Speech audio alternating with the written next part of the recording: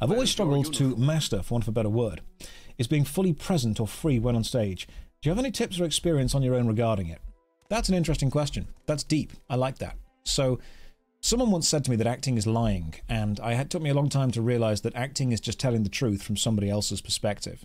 But when you are on stage, I mean, I don't know how experienced you will be, so I don't want to come across patronizing, but whenever I'm teaching anyone anything, I always say to them, I always start every lesson with, look, I'm going to teach you as if you are 10 years old. It is not because I think you're an idiot, and it's not because I'm trying to patronize you. It's because it's the only way that I can guarantee to myself that I've got across all the information that I need to get across in a way that is easily understandable for everyone in the class, for both you and for me.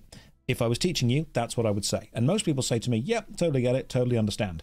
If you are on stage, you have got a million and one things to remember. Are you hitting your blocking correctly? Are you projecting your voice correctly? Is your costume all okay and still? What's the next line? What's the line that came before it? What's the exact cue? Is the lighting in the right place? Are the people in the wings ready to come on at the right time? There's a thousand things for you to remember. And the best way that I find is to overlearn everything. Some people often say to me that I mean, one of the worst things I ever heard an actor say was I was, you know, acting with someone and they said, "Oh, I don't, I don't learn." Oh, closets there. They say, "Oh, I don't learn my lines too much because if I overlearn them, it won't sound like they're natural. I only learn enough, so I'm still actually thinking about them when I'm on stage." And I said, "That is the worst advice I have ever heard somebody give anyone. What you should do is overlearn." Every single line, so you don't need to give any brain power whatsoever to remembering what your next line is. It is completely natural. You need to automate as many processes as you possibly can so your brain power can be effectively freed up for acting. Learn the lines to the point where it's completely natural and then make it sound like it's the first time you've ever said it because that is acting. So if you're struggling with being present on stage, one of the best ways that you can kind of free up brain power is saying to yourself, right, can I overlearn something to the point where I don't need to think about it? If you're struggling with being present, it's because your brain is distracted with other things. And sometimes you can be distracted with other actors. And I find one of the best ways to effectively calm myself when it comes to working with other actors is I learn their parts as well. So I've been in. I've. Freeze your eyes. That guy really hates his job. I've been in stage plays before where I've learned every single character's part. I know the entire script. And I've sometimes been in scenes where I've said my line and the other actor has kind of just stared at me, been like, I don't know my line. And I'm there like, don't worry, mate. I've got you. And I'll just, I'll deliver their line, but in a way that my character would say it as well which I think is great because it gives me more lines. I've had directors come to me before and say, "Hey, uh, do you know this part? It's bigger than the part you've got, but we need someone to play it." And I've gone, "Yeah, I know that. I'll do that as well. That's fine." Overlearn everything. The more you know, the less you need to worry about. And someone just in the chat said, "What about improvisation?" So I'm going to give you a little cheat right now improvisation is not always completely random and it's not always completely improvised. I made a joke in one of the last streams that got clipped saying, you know, streamers, when they say big things are coming, they should say something like, I'm going to invade Croatia. You think that was random? No. Croatia is the exact country that Jazz Emu uses in his song. I just stole that from him. When you improvise, you're not trying to think of something brand new that has never been done before. You're trying to think of two or three things that you already know, that you are very familiar with, that you can put into a new setting.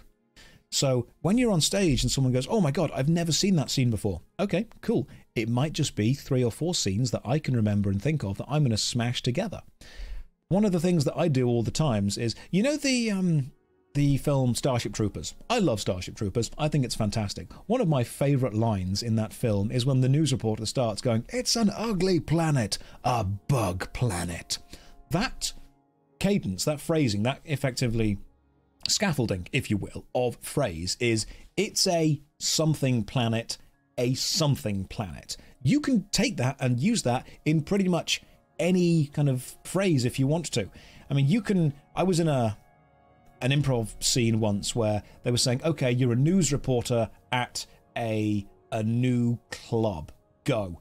And I just ran forward and went, "It's it's a fantastic club. It's a disco club." And that was just me taking the framework that I knew from a different film and adding in words that were relevant to this specific situation. You can take the framework that you know and add it into a new situation with new words that relate to the situation. And people will think, oh my goodness, you've just invented something new. Hi Josh, is this game from the 90s? Close, it was made in 2002. So if you're struggling on stage, I know this has been a long answer. It's an awful fort, a dry fort. See? You just take the silly things and add them in. So when you're struggling to improvise, it's often because you're trying to come up with something that's never been done before. There's nothing new under the sun. There's nothing new in Hollywood. Come up with two or three ideas that have already been done and mash them together in brand new and interesting ways. That's the way I do it. It's an empty planet. It's a boring planet. Starfield. Yes. Oh, it just works. See, when when a funny thing happens in a Bethesda game and you say it just works, that's not being original. That's just taking the framework of Todd's joke, slapping it on something new. So if I was going to say, right, you know, I need to be present on stage, how much brain power can I free up by thinking of every, overlearning everything else? And then if I need to improv, can I effectively pre plan improv? Where's your uniform? Oh, I took my spear out and he turned around. That's what she said. No time for jokes. Now we need to go and talk to the dude again. I'm going to steal some booze. I'm going to take that. that. This is mine now. Close the door. Stealth mode. This is mine. Sujama. All of it. In my inventory. All of it. Dropped on the floor. Oh yeah. All of it picked up. Now the thief flag has gone because that's how the game works. I am very fast. Do you mean like thinking of comedy? Because I am very Where's quick with comedy. You know, I, I get there in two minutes. Don't clip that out of context.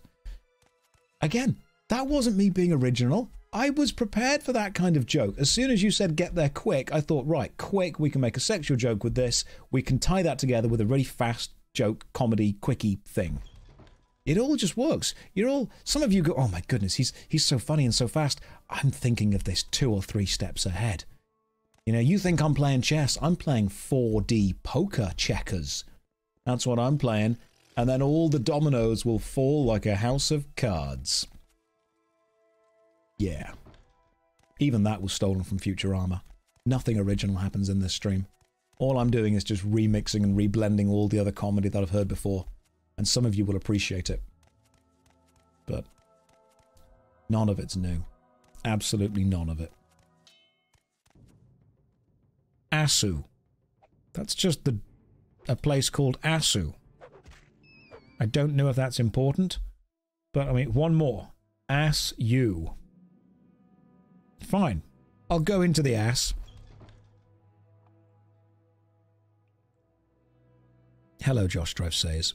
You can see other clips like this and more over on the Twitch channel, Josh Strife Hayes. Come and join us live sometime. It's like YouTube, but longer and worse.